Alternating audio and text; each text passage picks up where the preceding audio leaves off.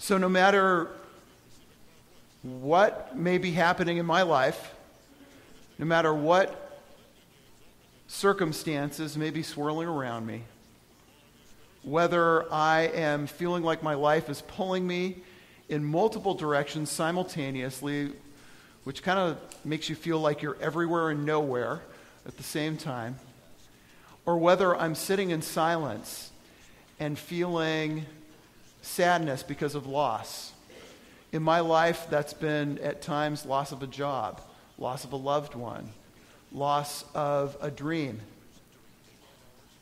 It could be whether I'm tired at the end of the day or I'm tired and waking into a new day.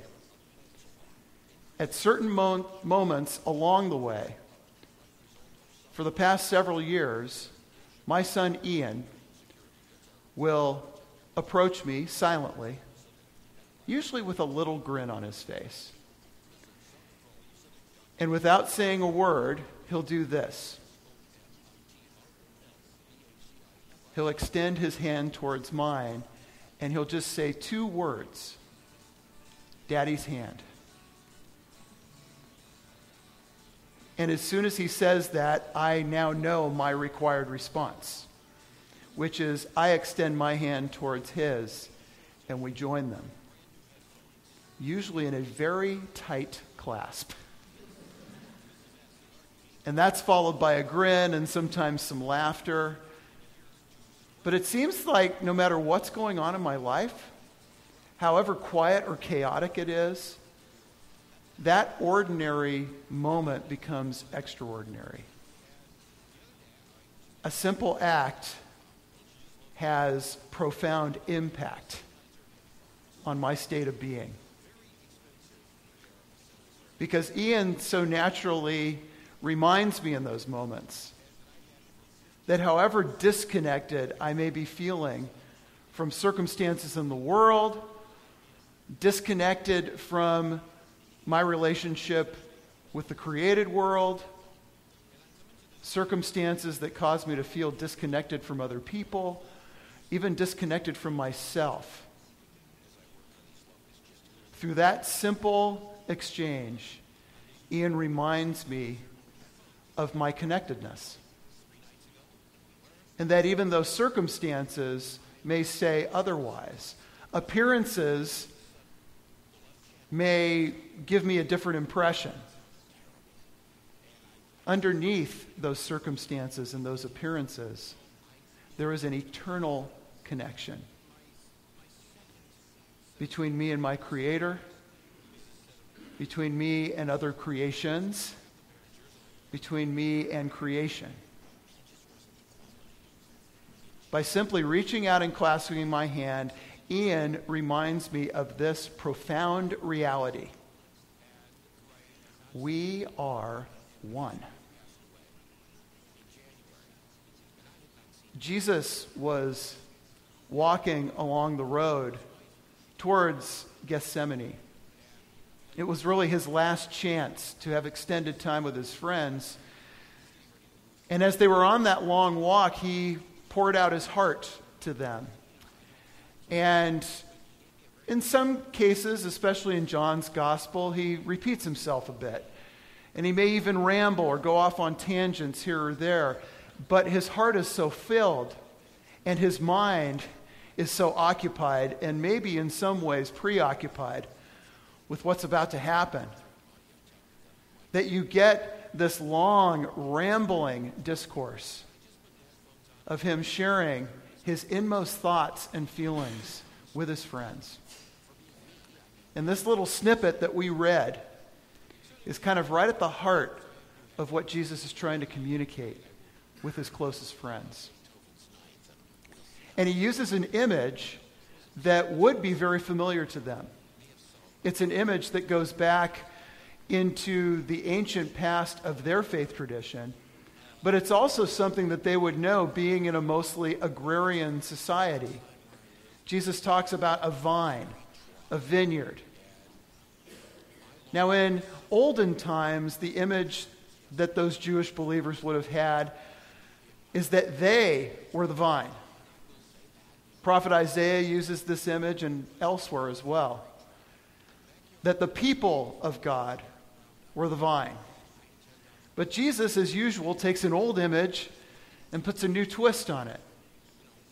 When he says, I am the vine, and you are the branches, and we are connected and interconnected. The vine is the source of all nourishment, all sustenance, all vitality, all life.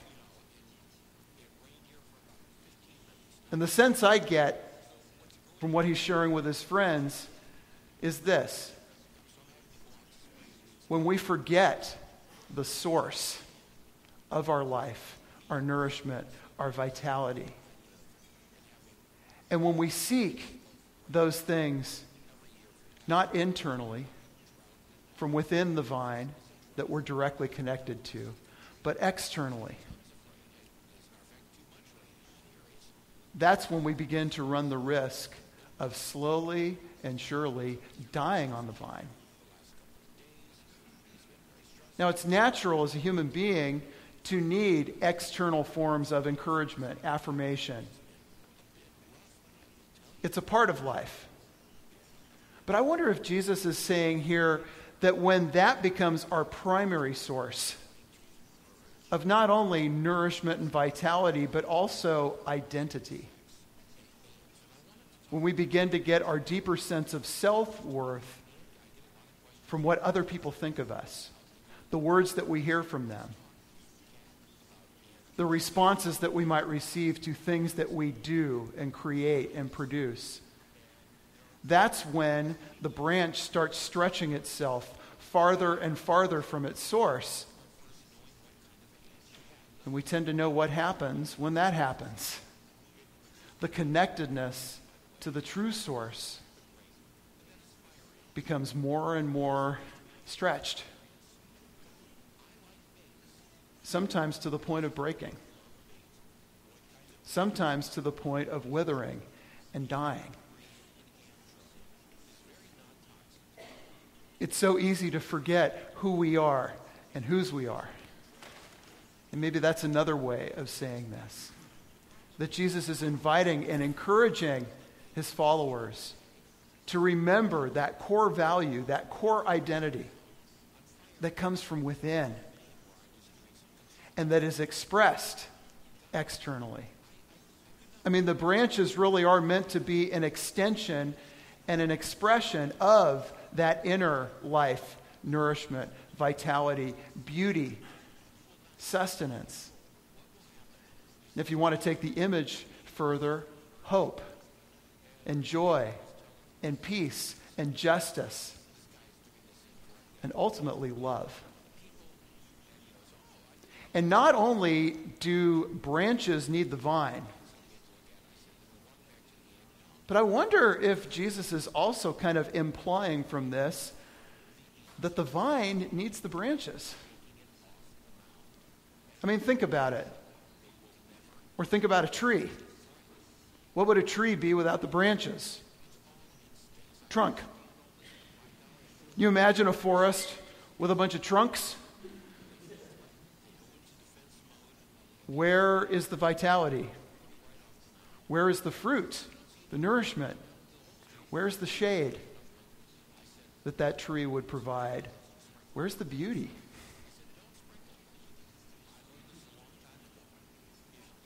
Branches extend and express eternally and externally all that is within the vine. And those extensions and expressions bring the life and vitality and nourishment and hope and joy and love in ways that reveal those connections between creator and creation and creations. Just kind of like what Jesus did by calling together a disparate group of people. Think about this. Jesus had a group, a small inner circle that included zealots and tax collectors. Now, not always being connected to ancient history, we tend to read all that kind of as one piece. You want to put that into modern terms? That would be like calling together the resistors and the tea partiers together into one small, close knit, tight community. A community that had disagreements, that had not only differences of opinion, but at times differences of conviction. And yet, this is the first community that Jesus creates. Why? How? And again, I wonder if it's like that image that William James highlights on one of the cover quotes for the bulletin this week. That image that when you look out at a sea and you see islands, they appear to be incredibly disconnected from one another. But when you look beneath the surface of the water, they're all connected. And I wonder if Jesus does this because he realizes that's not just a human connection, a shared blood, a shared sense of being, but that that is a connection of spirit. That is a connectedness of love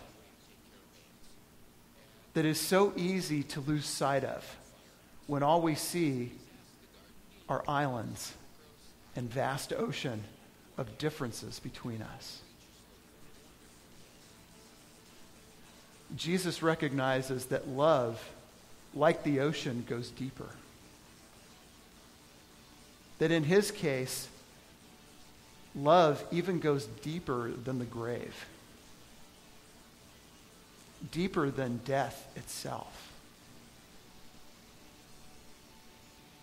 And when we think that those inner convictions come from the deepest place within us, I wonder if Jesus is reminding us that however strongly and however fervently and intentionally and prayerfully we hold those convictions, there's always something that goes a little bit deeper and that maybe is a little more powerful and maybe is the source of the strength of those convictions, but is also the source of the strength of those connections.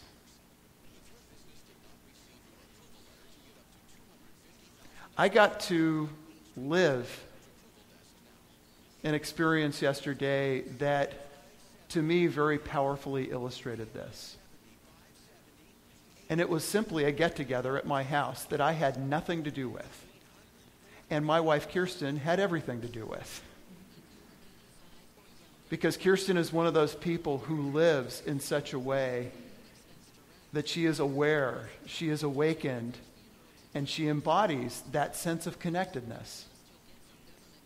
And she saw two people in her life who had grown disconnected further and further apart because of life circumstances, because of decisions that one or the other had made, that it had pretty harrowing impact on their relationship, on their families. And yet, Kirsten remembered that down beneath all of that, there's a connectedness. There is this sense that we all are one. And so she took the step and gradual steps of reaching out to both of them, individually initially, and then eventually deciding to run the risk of hosting a dinner party at our house with both of their families. And to her amazement, to my amazement, to all of our mutual amazement, nobody got injured.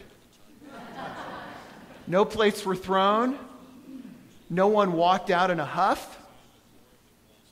It was tentative, it was a bit uncertain, and yet by the end of it, those two friends actually took a selfie together and sent it to Kirsten to say thank you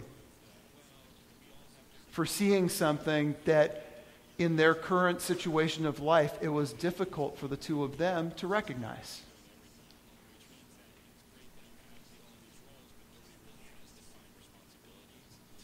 Some of you have asked and wonder why I invite us at the end of each worship service to hold hands. And I imagine some of you may think it's because I'm a touchy feely guy and I have warm, fuzzy memories of past experiences. And if I really had my way, we wouldn't only hold hands, we would sing Kumbaya every Sunday. That is not why I ask you to hold hands. Part of the reason I ask you to hold hands is because of my experience of daddy's hand. Part of the reason I ask you to join hands is so that you will have a visceral, tangible reminder of that connection and connectedness. And that as you prepare to leave this place and re enter that world that in so many ways is disconnected, fragmented, frazzled, that you would have one more reminder that that's not all there is and that you're walking back out into your lives and into that world knowing that you are not alone. That we are connected through invisible connections that have visible manifestations. It's maybe a way for us to be reminded that at the heart of it all, at the end of the day, at the beginning of the day, at every moment during the day, whether we believe it or not, we are one.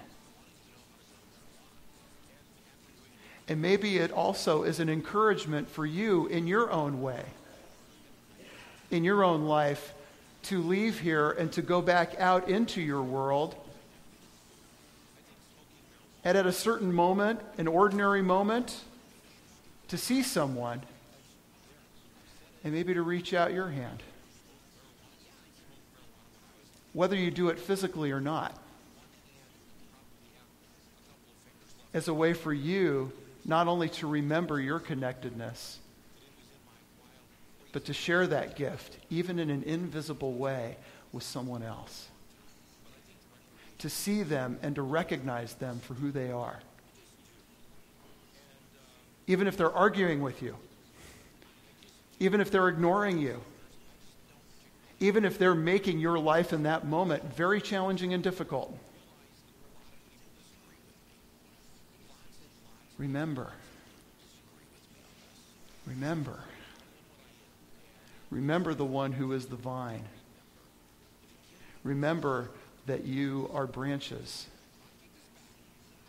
And remember that together we are a vineyard and that fruit is not meant to stay on the vine. It's meant to be taken. It's meant to be shared. Meant to be given.